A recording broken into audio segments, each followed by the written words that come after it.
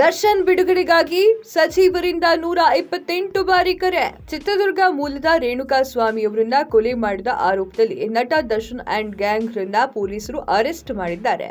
ಏನ್ ಆರೋಪಿಯಾಗಿ ಪವಿತ್ರ ಗೌಡ ಅವರನ್ನ ಬಂಧಿಸಿ ವಿಚಾರಣೆಯನ್ನ ಮಾಡಲಾಗ್ತಾ ಇದೆ.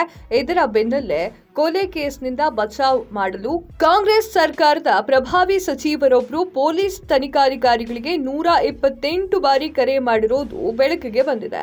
ಇಡೀ ರಾಜ್ಯದಾದ್ಯಂತ ತೀವ್ರವಾಗಿ ಚರ್ಚೆಯಾಗ್ತಿರುವಂತಹ ದರ್ಶನ್ ಕೊಲೆ ಕೇಸ್ನಲ್ಲಿ ಪೊಲೀಸರು ಬಂಧಿಸಿದ ಪ್ರಕರಣವನ್ನು ಮುಚ್ಚಿ ಹಾಕಲು ಸ್ವತಃ ರಾಜ್ಯ ಸರ್ಕಾರದ ಪ್ರಭಾವಿ ಸಚಿವರೇ ಮುಂದಾಗ್ತಾ ಇದ್ದಾರೆ. ನಟ ದರ್ಶನ್ ಆತನ ಎರಡನೇ ಪತ್ನಿ ಪವಿತ್ರ ಗೌಡ ಹಾಗೂ ಹದಿನೈದು ಜನ ಸಹಚರರು ಸೇರಿ ರೇಣುಕಾ ಸ್ವಾಮಿ ಅವರನ್ನ ಕೊಲೆ ಮಾಡಿದ್ದಾರೆ. ಈ ಕೃತ್ಯ ಅತ್ಯಂತ ಅಮಾನವೀಯವಾದದ್ದು. ಇದನ್ನ ರಾಜ್ಯದಾದ್ಯಂತ ಎಲ್ಲರೂ ಕೂಡ ಖಂಡಿಸ್ತಾ ಇದ್ದಾರೆ. ದರ್ಶನ್ ಬಚಾವ್ ಮಾಡಲು ಪ್ರಭಾವಿ ರಾಜಕಾರಣಿಗಳು ಶತಾಯಗತಾಯ ಪ್ರಯತ್ನವನ್ನ ಮಾಡ್ತಾ ಇದ್ದಾರೆ.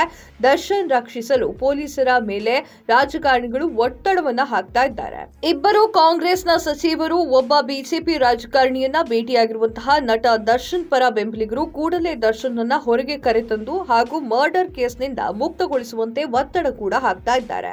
ಈ ಹಿನ್ನೆಲೆಯಲ್ಲಿ ಒಬ್ಬ ಸಚಿವ ಸೇರಿದಂತೆ ಮೂವರು ರಾಜಕಾರಣಿಗಳಿಂದ ಪೊಲೀಸರ ಮೇಲೆ ಶತ ಪ್ರಯತ್ನ ಮಾಡಲಾಗ್ತಾ ಇದೆ. ತನಿಖೆಯಲ್ಲಿರುವಂತಹ ಅಧಿಕಾರಿಗಳ ಮೇಲೂ ಕೂಡ ರಾಜಕಾರಣಿಗಳು ಒತ್ತಡವನ್ನ ಹಾಕಲಾಗಿದ್ದು ಪೊಲೀಸರು ಮಾತ್ರ ಕರೆಯನ್ನ ಸ್ವೀಕಾರ ಮಾಡದೆ ತನಿಖೆಯನ್ನ ಮುಂದುವರಿಸಿಕೊಂಡು ಹೋಗ್ತಾ ಇದ್ದಾರೆ.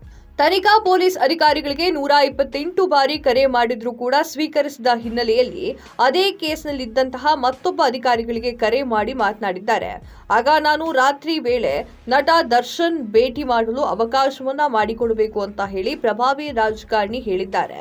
ನಿನ್ನೆವರೆಗೂ ದರ್ಶನ್ ಬಚಾವ್ ಮಾಡಲು ಇನ್ನೆಲ್ಲದ ಪ್ರಯತ್ನ ಮಾಡಿರುವಂತಹ ರಾಜಕಾರಣಿ ಈಗ ದರ್ಶನ್ ಭೇಟಿಯಾಗಲು ಅವಕಾಶ ಕೊಡಿ ಮುಂದಿನ ಕ್ರಮ ಕೈಗೊಳ್ಳುವುದಾಗಿ ಪೊಲೀಸರಿಗೆ ಬೆದರಿಕೆ ಹಾಕ್ತಾ ಇರುವುದು ತಿಳಿದು ಬಂದಿದೆ ಈ ಎಲ್ಲ ಬೆಳವಣಿಗೆಗಳ ಬೆನ್ನಲ್ಲೇ ತನಿಖಾಧಿಕಾರಿಗಳನ್ನ ಬದಲಾವಣೆ ಕೂಡ ಮಾಡಲಾಗಿದೆ. ಕೇಸ್ ಪ್ರಾರಂಭದಿಂದ ಕಾಮಾಕ್ಷಿ ಪಾಳ್ಯದ ಇನ್ಸ್ಪೆಕ್ಟರ್ ಗಿರೀಶ್ ನಾಯ್ಕ್ ಅವರು ತನಿಖಾಧಿಕಾರಿಯಾಗಿದ್ರು. ಆದರೆ ಗಿರೀಶ್ ನಾಯ್ಕ್ ಅವರ ಬದಲಿಗೆ ಇಂದಿನಿಂದ ಎಸಿಪಿ ಚಂದನ್ ತನಿಖಾಧಿಕಾರಿಯಾಗಿ ನೇಮಕವಾಗ್ತಾ ಇದ್ದಾರೆ. ಇನ್ನು ಮುಂದೆ ಎಸಿಪಿ ಚಂದನ್ ಅವರ ಸೂಚನೆಯಲ್ಲೇ ರೇಣುಕಾಸ್ವಾಮಿ ಕೊಲೆ ಕೇಸ್ ಮುಂದೆ ಸಾಗಲಿದೆ.